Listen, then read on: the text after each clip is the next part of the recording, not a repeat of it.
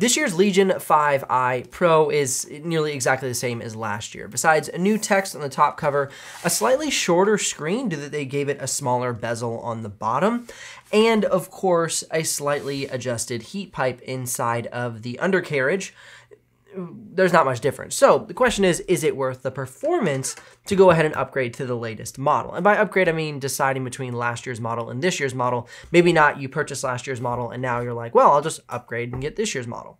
I don't really recommend that. So let's jump into maybe a few of the key basics that I wasn't able to cover during the unboxing, but if you want my full impressions and seeing all the little intricate details and differences, you can go ahead and check that out. I'll link it up at the end of this video. But first and foremost, here is a quick sample of the webcam so you can check it out. This is the camera on the Legion 5i Pro and a little audio sample for you as well. When I back up a little bit, it kind of mellows out. When I get really close, I'm really close to my light. So the camera actually looks pretty good, especially for that 720p webcam. Now the model that I'm reviewing comes with the i7-12700H, RTX 3060, 16 gigs of RAM, and one terabyte of SSD. One thing that really stands out to me about this model, of course, though, is the latest 12th gen CPU. It really kept this laptop cool, had great performance, although the problem that I'm seeing most with Intel laptops this year compared to Ryzen is the battery life. And so in regards to the battery life, I would say if you're a big advocate of having long on the go battery life, then I would wait for the Ryzen version of this laptop. Just gonna put it out there right off the bat. Now, if they decide to go with the Ryzen 7 6800H, which I'm assuming they will for this model, you'll get better battery life, but you won't get substantially better battery life. Where you're going to see better battery life is in the HS processors. So for instance, the Asus Zephyrus G14 with the Ryzen 9 6900HS, those laptops get amazing battery life. The H series does not get as great of battery life as I would hope, but I think we're definitely going to see slightly better battery life if we're considering the i7 12700H versus the Ryzen 7 6800H. Now you've seen the battery life results on the screen for this laptop. We have the Passmark productivity battery life. We're streaming a YouTube video until the battery goes dead. And we're running the Photoshop Puget Systems benchmark on repeat until the battery goes dead. And for the video editing battery life, we're running Premiere Pro on loop during a 4K project until the battery runs dead. Now, all of these battery life results that you see on the screen are done in iGPU mode at 35% brightness. Now, if you're curious about a larger breadth of battery life results, I'm gonna be running more tests in the coming days. And so make sure you subscribe and ring the bell so you don't miss out on my one month review where I'll show you even more battery life and performance results from this laptop. But for now, I'm just covering the basics for this review. More to come later. Now, in regards to color gamut range, that's one area this laptop did not step it up compared to last year. Uh, we have the 98% sRGB, 71% Adobe RGB, and 72% DCI-P3. Though the brightness was still good, um, around 461 nits, if I'm not mistaken, off the top of my head. This is a good, bright 16 by 10 aspect ratio screen that'll get the job done indoors and in bright sunlight if you're working outside like at a coffee shop. If you're curious about the exact pricing and availability of this model, you can head down in the description below and click those links. Remember, those are affiliate links, so if you do make a purchase, I'll get a small commission, but at no extra cost to you. But of course, that's what keeps this channel alive and the helpful content coming your way. I like this keyboard. It has a nice, firm response. It's not as maybe snappy as some other keyboards, but I like the soft feel of it. The keys are a plastic material, no soft touch rubberized material on the top of them, so just a basic plastic keycap. And then the trackpad, of course, is secured well to the chassis. Same size as last year's trackpad, still a great trackpad. And here's a quick audio sample of me using the trackpad and keyboard so you can check that out.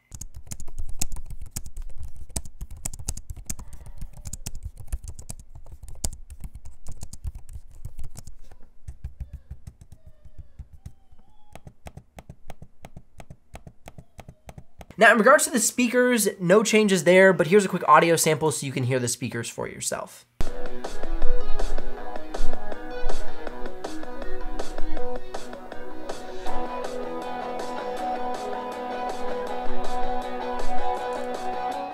Now, one area that we have seen some improvements is actually based on the software. We now have access to hybrid mode, hybrid iGPU mode, hybrid auto mode, and DGPU mode, so discrete graphics. So basically, we turn off the integrated graphics and we only use the discrete graphics for more display performance. So that's really cool. We also have overdrive and GPU overclock. I ran GPU overclock and really the biggest difference that I saw was for 3D modeling. It was not in like video editing or Photoshop, anything like that.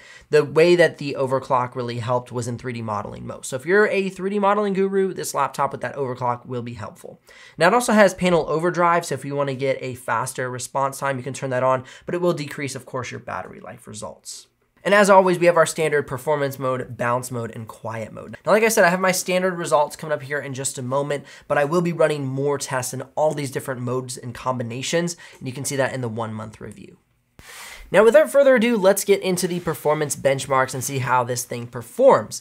Now, first and foremost, in Cinebench R20, R23, Geekbench single core, and multi-core, this laptop is at the top of the charts for all of those results. So as far as your simulated benchmarks are concerned, you're nailing the simulated benchmarks with this laptop.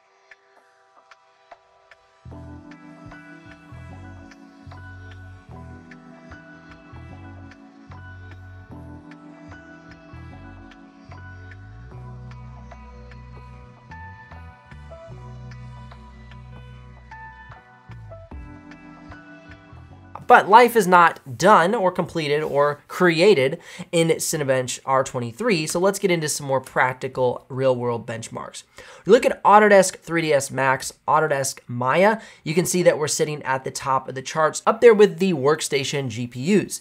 And so this laptop will definitely have what it takes for you inside of 3D modeling programs like Autodesk. Now moving on to PTC Creo and SolidWorks, Still performs very well in both of those programs, but it isn't really topping the charts compared to those more workstation focused GPUs and CPUs. This is still a gaming laptop, but it will work well inside of 3D modeling programs.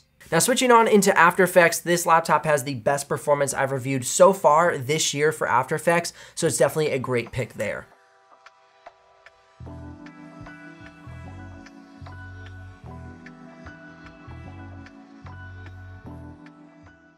Now moving forward into video editing, I'm gonna start out in DaVinci Resolve, and I was actually really surprised at how well this laptop performed in DaVinci Resolve. Normally, Intel laptops have historically not been great performers in regards to export times out of DaVinci Resolve. However, that's not true with this laptop. These new 12th gen processors are really, really great for exporting out of DaVinci Resolve. It beat out a lot of Ryzen laptops that it would have been beaten by in the past. And of course, with this 3070 Ti has good playback in DaVinci Resolve as well.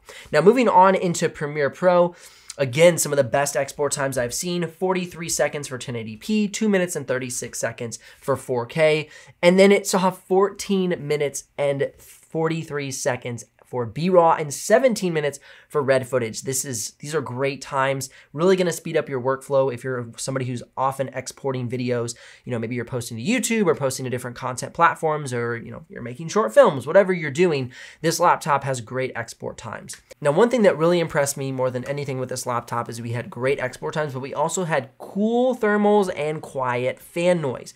Now, if you wanted to boost the laptop all the way up to the top performance, you're still going to see around 50 decibels of fan noise, but you're going to see 72 degrees Celsius in a 2 minute and 39 second export time, which is fantastic. Now, in regards to actually editing your footage, the playback on 4K is zero drop frames. Basically, most powerful gaming laptops today are going to have zero drop frames in 4K. But as you move into B-RAW and red footage for those 6K resolutions, you usually start to see drop frames.